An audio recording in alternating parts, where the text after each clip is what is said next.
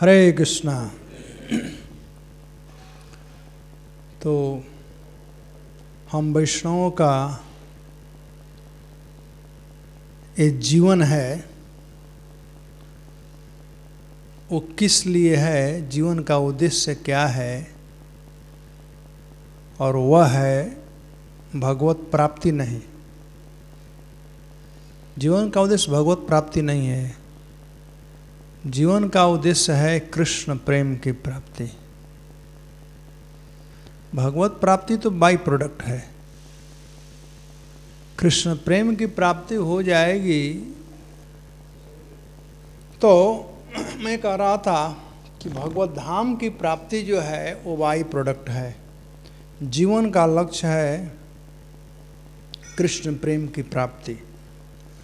और कृष्ण प्रेम की प्राप्ति होती है भागवत से।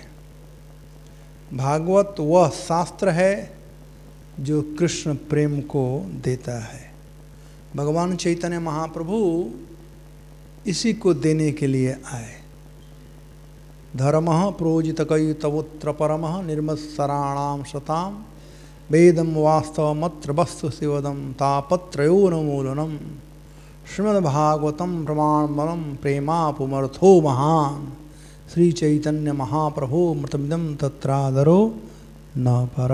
प्रेमा पुमर्थो महान भागवतम का अर्थ है भागवतम अध्ययन का अर्थ है कृष्ण प्रेम की प्राप्ति।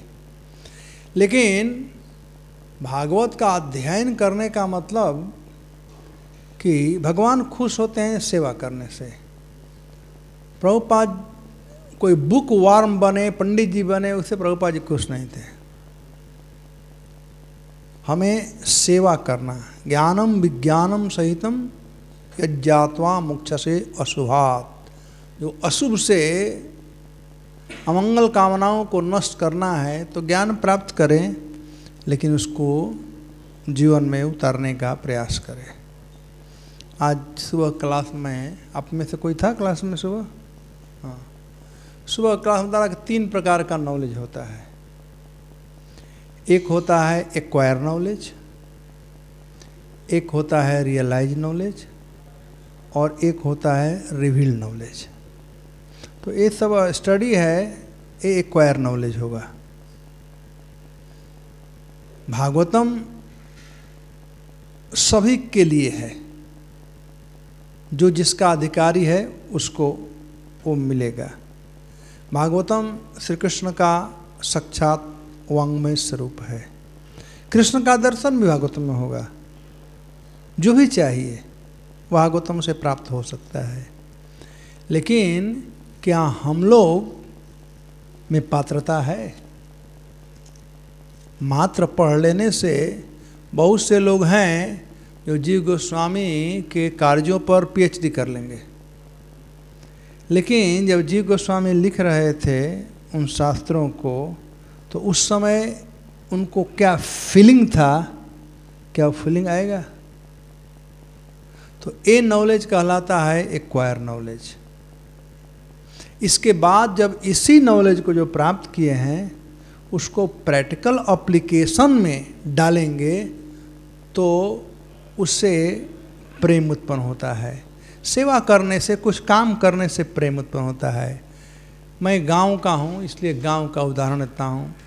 बड़ा ब्लंट उदाहरण देता हूँ। जैसे पहले ज़माने में लव मैरिज नहीं था। अब ब्रह्मचारी लोग तो नहीं जानते हो, लेकिन जानते तो हो। शादी होती थी पहले। बाप माँ का शादी हुआ है ना? तभी तो हम पैदा हुए हैं ना? तो वहाँ पर बचपन में शादी हो जाती थी। लड़का लड़की को नहीं देखा, लड़की लड़का को नहीं देखा। लेकिन शादी के बाद जब दोनों सेवा करना शुरू की एक दूसरे का तो प्रेम उत्पन्न होता है। सेवा से सेवा से प्रेम उत्पन्न होता है। तो नॉलेज प्राप्त करना शादी करने के समान है। लेकिन जब सेवा करना शुरू करेंगे, तब प्रेम राज्य में प्रवेश करेंगे। तो वह जो नॉलेज है, वह रियलाइज़ नॉलेज होगा। और रियलाइज़ नॉलेज का असर पड़ेगा। प्रचार करेंगे तो।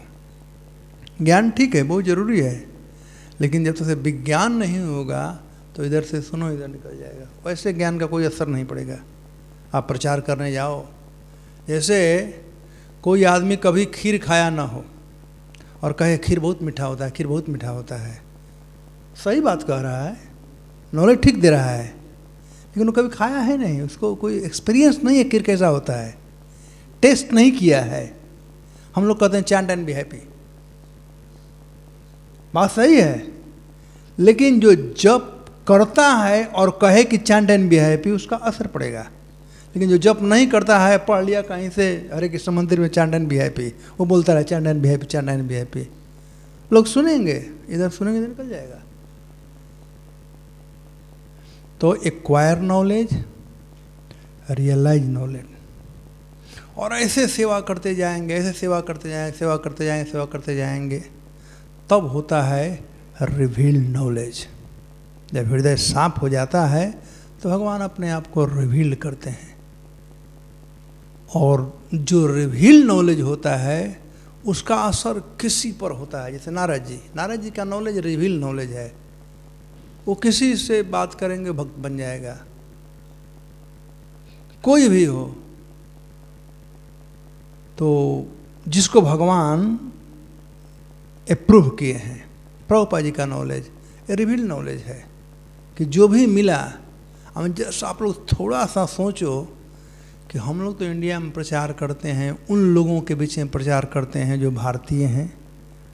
कुछ सभ्यता संस्कृति है, राम को जानते हैं, कृष्ण को जानते हैं, अपना भाषा जानते हैं।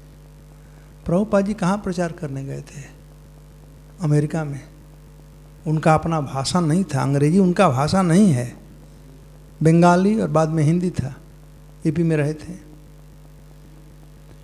अमेरिकन कल्चर उनका कल्चर नहीं है, नहीं था। और जिन लोगों के बीच में प्रचार करे सब हिपी लोग थे। तो उन लोगों पर कैसे असर पड़ा इसका? क्योंकि ये रिवील नॉलेज था। प्रभुपाद जी जाते समय जलदूते में लिखे हैं कि हम में तो कोई गुण नहीं है, आप मुझे यहाँ पर लाए हो। तो ज़रूर आपकी कोई इच्छा होगी। तो जिस काम के लिए लाए हो, काम कराओ, मैं तैयार हूँ। तो प्रभुपा जी जो भी बात कहे हैं, उसका डायरेक्ट असर पड़ेगा और रिवील नॉलेज है। तो ज्ञान प्राप्त करना अति उत्तम है। मैं कहा कि भागवत का लक्ष्य है प्रेमापमर्थो महान। कृष्ण प्रेम को प्राप्त करना। लेकिन क्रमिक विकास, real, reveal require knowledge realise knowledge then reveal knowledge वहाँ पर, प्रेमापमर्थो महान, वहाँ पर आएगा। लॉन्ग वे टू गो ऐसा बात नहीं है कि कोई भागवत का पूरा अध्ययन कर लिया पूरा अठारह हज़ार श्लोक याद कर लिया, पूरा सब कुछ। लेकिन उससे क्या होगा? पंडा बनेंगे। बनारस में जाओ, बहुत पंडा लोग हैं, बहुत खूब बोलते हैं। लेकिन प्रभुपाद जी सिंपल चीज़ दिए हैं, ये पढ़ो go out and preach realise करो उसको। तो अच्छा है, शंकर सन्निधाई प्रभु और ब्रज, क्या? आई फॉरगॉट जी ब्रज सुंदर प्रभु का इनिशिएटिव है। होना चाहिए, बहुत भक्त लोग पुनः भी कर रहे हैं, वो गोवर्धनी को विलेज में कर रहे हैं। मुझे भी बहुत भागवत अध्ययन करने में और पढ़ने में अध्ययन करने में और बात करने में अच्छा लगता है, लेकिन मैं प्रायोरिटी देता हूँ ज़्यादा प्रैक्टिस पर, जितना है उतना। तो गुड फाउंडेशन बनाना बहुत ज़रूरी है। ये फाउंडेशन जब स्ट्रांग रहेगा तो बिल्डिंग स्ट्रांग बन सकती है। तो सभी भक्तों को हम इनक्रेज करेंगे कि सब लोग भागवत का अध्ययन करें और लोगों को दें। भागवत का जन्म समाने के लिए तो ही है ना, जन्म लाभ परापनुषा अंत नारायण स्मृति। इतना तो कम से कम लोग कर लें, सब लोग। होता ना जनरल पासिंग मार्क ये पासिंग मार्क है जनरल कि मानव जीवन की सफलता है कि जीवन के अंत में भगवान नारायण का स्मरण हो सके। अभी मेरी कथा है वापी में गजेंद्र मोक्ष का। तो वही मैं कमेंट्री पढ़ रहा था तो कई बड़ा सुंदर सुंदर बातें आई हैं कि एक तरह से देखा जाए तो हम लोग वही गजेंद्र हैं। ये जो भौतिक संसार है, वह त्रिकुट पर्वत पर जो तालाब था, सरोवर था, वह सरोवर है। और समय जो है, वह ग्राह है। तो हम सब लोगों को वो ग्राह पकड़ा हुआ है। हम सब लोगों को ग्राह पकड़ा हुआ है। और बड़ा सुंदर एनोलॉजी ये अब मैं, उतना तो मैं पढ़ लिया, लेकिन अपना एनालाइज में कर रहा था कि ग्राह कहाँ पकड़ा, पैर में पकड़ा। देखिएगा, जब भी पैर में दर्द होने लगे ना तो समझना कि अब ग्राह, अब, हमने ग्राह पकड़ा था शुरू में तो बहुत हेल्प करने के लिए लोग थे, उसकी वाइफ थी, पत्नियाँ थी, सब लोग थे। तो ग्राह तो पकड़ा ही हुआ है, लेकिन पैर को ही पकड़ा था वो। तो जब पैर को पकड़ लिया ग्राह, और जब कोई काम नहीं आया, सब छोड़कर चले गए, पत्नी, बच्चे सब छोड़कर चले गए तो मैं वही सोच रहा था, मैं बहुत समय से सोच रहा हूँ, शंकर सिंह प्रभु से मैं बात किया था उन लोगों से, कि सला ये जितना बीमारियाँ हैं, सब बुढ़ापे में आती हैं। ये जवानी में बीमार आता नहीं है। बीमारी जवानी में तो हम दो हाथ मिला लेंगे, हैं? बुढ़ापे में जब कोई काम नहीं करने का होता है, जब कोई शरीर काम नहीं कर पाता तो बीमारी आती है। तो उस समय ग्राह, जब विभिन्न प्रकार की बीमारियाँ आने लगी समझना कि सब छोड़कर चले गए हैं। तो वैसे परिस्थिति में यदि हम एक्सरसाइज किए रहेंगे, जैसे ग्राह ने किया था पूर्व में महाराज इंद्रदुम्न थे, भजन किए थे तो उस समय उनको याद आया। जब सब छोड़ देते हैं, तब याद आता है। तो मैं कहा था, सामान्य लोगों को कम से कम याद तो दिलाएँ कि भैया अंतिम समय कोई तुम्हें। तो जन्म, लाभ, हो पराप उनसा, अंत, नारायण, स्मृति, ये सामान्य लोगों के लिए कहा गया है। लेकिन आगे बढ़ने पर, थोड़ा और आगे बढ़, बढ़ा जाए तो देखा जाता है कि बहुत चीज़ें भागवतम में आई हैं। हमें आठवां स्कंद को ही देखिए। उतय है, उतय कर्म वासना, है? उति कहा गया आठवें स्कंद को। यदि कर्म वासना नहीं तो कर्म क्यों करेंगे? जब कर्म नहीं होगा तो कर्म फल नहीं होगा, और कर्म फल नहीं होगा तो फिर संसार का चक्कर नहीं लगाना पड़ेगा। तो किस प्रकार से कर्म वासना को शुद्ध किया जा सके? वो भी कर्म वासना अलग अलग प्रकार की हो सकती है। तमोगुणी कर्म वासना हो सकती है, रजोगुणी कर्म वासना हो सकती है, सतगुणी कर्म वासना हो सकती है। ये सतवां स्कंद है ना? कर्म वास, उतया। पोषण, उतय। मनवंतर ईशानुगता हाँ। तो जैसे प्रहलाद महाराज हैं हिरण्यकश्यपु हैं, तब देख सकते हैं। तो ये भागवत अध्ययन करने से हमारी कर्म वासना प्यूरिफाइड होती है। कर्म वासना सब में होनी चाहिए, लेकिन इंद्रिय तृप्ति की जो कर्म वासना है, वो हमें बर्बाद कर देगी। लेकिन कृष्ण इंद्रिय तृप्ति की जो वासना होगी वह कृष्ण प्रेम को दिलाएगी। वही है प्रेम। कृष्ण इंद्रिय प्रतिवांछा धरे प्रेम नाम। तो बड़ा ही गुढ़ भागवत महापुराण है। एक एक शब्द के अनेक अर्थ हैं। परसों ही मैं क्लास दे रहा था कानपुर में। और ये शब्द आया था, नारायण सम। हम्म। गर्गाचार्य वसुदेव जी को कहे कि तुम्हारा बेटा जो है, वो नारायण के समान है। अब उसके ऊपर सनातन गोस्वामी जी गोस्वामी कमेंट्री दे रहे थे कि जब कहा जाए कि नारायण के समान है, इसका मतलब कि नारायण से बड़े हैं। नारायण से बड़े हैं, तब तो कोई समान हुआ। तो नारायण के समय तो नारायण बड़े हैं, ये छोटे हैं, कृष्ण छोटे हैं। लेकिन उन लोगों ने कहा कि नारायण जिनके समान हैं, यानी जिनमें नारायण का गुण है वो है नारायण समा।